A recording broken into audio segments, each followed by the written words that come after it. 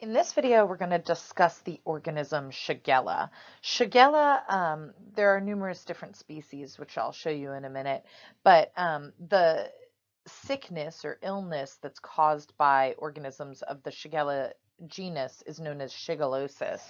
Um, all of the Shigella, regardless of which species we're talking about, are members of the Enterobacteriaceae family. So this is, you know, the same family that contains um, E. coli or salmonella. And that's actually kind of helpful to keep in mind, particularly when thinking about Shigella, because um, EHEC, which is obviously a form of E. coli, a rather nasty form of E. coli that particularly in small children can lead to HUS, um, actually kind of stole its toxin from Shigella. Uh, it uses that Shiga toxin as a method of um, pathogenesis. So th this is one of those videos where if you've spent a lot of time on the Enterobacteriaceae videos or the E. coli video, this one is going to make a lot more sense. Um, if you watch this video and you're like, eh, I'm not really sure about it, you might go back to one of those two to kind of make heads or tails of the Enterobacteriaceae in general, and particularly Shiga toxin, although I'll talk about it here as well. All right, so like I said, Shigella, there are several different species. I've listed a couple here. Probably um, the most important of the species is Shigella dysenteriae. Um, and that should tell you something, right? We're talking about a dysentery-like diarrhea. Um, so this is another one of those organisms that leads to a gastroenteritis and it's dysentery like. So, whenever you hear the term dysentery like, you're thinking about blood, you're thinking about pus, and all of those things present in the stool, okay? Um, it's an Enterobacteriaceae. Um, so that means it's going to follow the same kind of uh, descriptive tests as all of the other ones in this family. So it's a gram-negative rod, it's non-spore forming, it's catalase positive, oxidase negative. Um, remember that with our Enterobacteriaceae, we can grow them on MacConkey agar.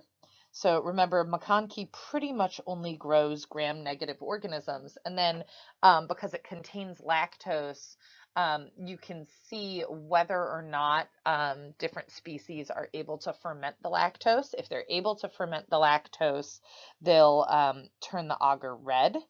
If they are unable to ferment the lactose, it will stay kind of white or translucent. Um, Shigella is not able to ferment lactose, so it's going to maintain that white translucent color. Um, I have a good um, picture of that in the Enterobacteriaceae video um, and also in your notes. So it's non-lactose fermenting. Um, it does have, because it's an Enterobacteriaceae, it ha does have that ECA antigen, that Enterobacteriaceae common antigen. It also has all those O antigen um, serogroups that we associate.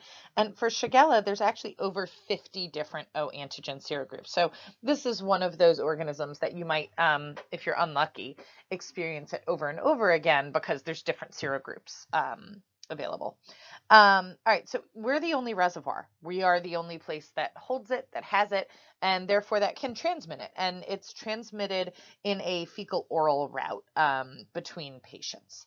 So what's the disease we're talking about? So I mentioned a dysentery-like diarrhea. Um, this is going to hit about one to three days after the patient ingests, remember, because we're talking about fecal oral, um, the bacteria. The patient's going to experience abdominal cramps, diarrhea, fever, and bloody stool, so blood in the stool. But there is actually a um, kind of cardinal feature associated with Shigella. Um, it's not just that we see you know, your standard dysentery like condition. You're also going to see lower abdominal cramps and tenesmus. Um, this literally just means straining to defecate or having the urge to defecate, but not actually able to get the job done. So kind of a feeling of urgency that that needs to happen, straining to do so, and then not always being able to do so. Um, but when you do, um, uh, expect abundant pus, right? Because this is a bacterial infection, so we're going to have of a lot of neutrophils, and when neutrophils die, they make pus. Uh, and then blood in the stool, as I've mentioned so why does this happen? How does this happen? Um, well, it happens in a couple of ways. First off, the pathogen itself is able to invade and replicate in cells lining the colon. Um, and I really do mean in. So um, these are this bacterial infection is a facultative anaerobe, so it's able to reside inside a phagocyte. Okay, so if I have my pathogen in here and it gets in, and let's say at first it's in its little vacuole, it's actually able to lyse that vacuole and then replicate itself in the cytoplasm of the phagocyte. And then it can do something really cool. It can actually, it doesn't even need to leave the cell. It can kind of shoot its way through um, into an adjacent cell. So when it does that, it also avoids an um, antibody detection because it never actually has to go extracellular in order to spread to another cell. Um, it also, like many of the Enterobacteriaceae, has a type 3 secretion system. I don't think we've really talked much about type 3 secretion systems. They're actually pretty cool. Um, it's like a natural syringe. So I've put a picture here. You definitely don't need to know all of this because this is very complicated. But really what I just wanted you to see was kind of the Luer lock structure um, of a type 3 secretion system. So down here is the Shigella organism. And up here is the target cell. And this right here would be basically space between the two cells, right? So what happens is the Shigella has this syringe. So like if this right here is the needle, and then this would kind of be like the collar that like you screw the needle into, and this would be like the plunger. And then whatever it's trying to send across, so some sort of toxin or whatever, so in this case like Shiga toxin or um, exotoxin or you know whatever else it's trying to get out and into that target cell it can just send down the needle so that it's just a cool thing um, that this uh, organism and many like it has. And this organism uses it to secrete four proteins into epithelial cells and macrophages that just make them more permissible. Um, the other thing, this is a highly inflammatory organism, which I think you could probably tell based on the amount of pus and blood that we expect to see with shigellosis. So it's known to actually increase the amount of IL-1 beta in the area, which is a very highly inflammatory cytokine. So those are all things that um, Shigella does or has, but the main thing that Shigella does and has is produce Shiga toxin. Um, and like I said, I, I went into this a good bit in the EHEC video. The other place you might um, check out is the E. coli EHEC um, sketchy medical video. I actually really like the way they explain it. Um, it, it it's just very clear and it makes it uh, it makes it very clear why Shiga and E. coli behave similarly. So if you're a sketchy medical fan, this might actually be a good way to review this content. Um, okay, so Shiga toxin is specifically produced by um, S. dysenteriae. S. dysenteriae, uh, like I mentioned, can also produce an exotoxin. The Shiga toxin is an AB toxin. Um, we've talked about this a bit before. Um, specifically, uh, if you take classes with me, we talked about it when we talked about um, Bacillus anthracis, as well as some of the Clostridia. Um, but basically, an AB toxin means that you need both components. So the A component is your active component. This is the thing that actually does the cells harm whereas the B component is the binding component, okay?